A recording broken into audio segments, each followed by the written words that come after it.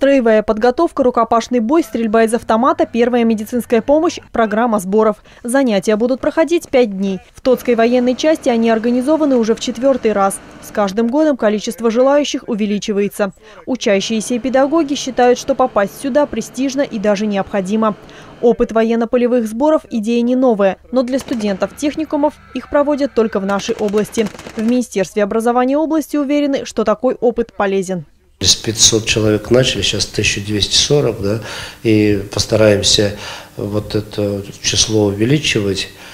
А, ну, и, понимаете, командиры даже вот частей, где мы занимаемся, э, остаются удовлетворенными. По крайней мере, я разговаривал э, с командиром артиллерийской бригады, и он после вот этих 10 дней сказал, что каждого из этих ребят бы он с удовольствием взял себе в часть. Попасть на сборы могут только лучшие студенты. Денис Лысенко участвует второй раз.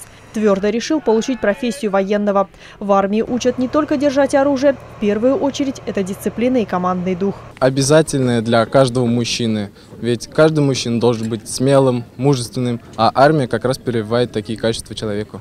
Подъем в 7 утра, изучение боевой техники, занятия на плацу. Обычное дело для солдата. Для курсантов здесь тоже нет послаблений. Живут юноармейцы в казармах и по распорядку. Даже кровати заправляют по нормативам.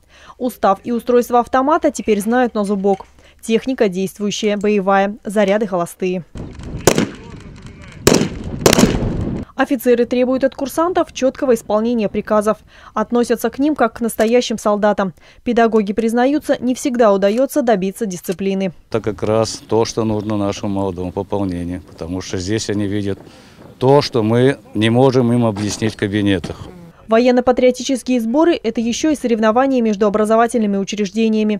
Каждый хочет стать лидером, тем более, что стимул есть. Самые лучшие студенты примут участие в Параде Победы в областном центре. Победитель личного первенства получит квадроцикл. Аналогичные сборы для руководителей средних образовательных учреждений пройдут в начале мая. Потом на очереди девушки-студентки. Для них уже готова форма. Ольга Энгельс, Константин Воробьев. Новости дня.